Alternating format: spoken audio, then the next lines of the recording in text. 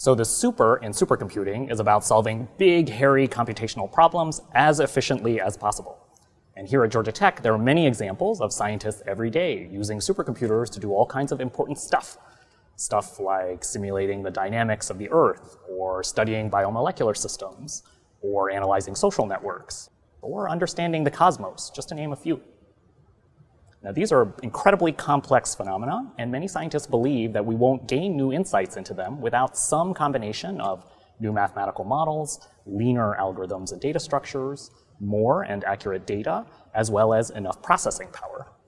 Now, ours is a CS course on supercomputing, so the main question we'll be interested in is, given a computational problem and a machine, how do you compute at the absolute limits of scale and speed?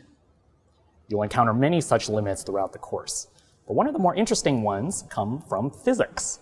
These are things like limits based on the speed of light or the amount of energy, power, or heat dissipated by a system.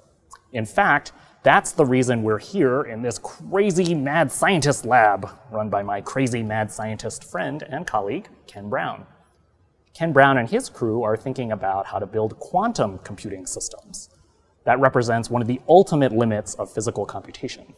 Now, we won't actually talk about quantum computing stuff in this class, but I wanted to start there to sort of stimulate your imagination, not only about the limits of conventional computing systems, but also about what might lie beyond.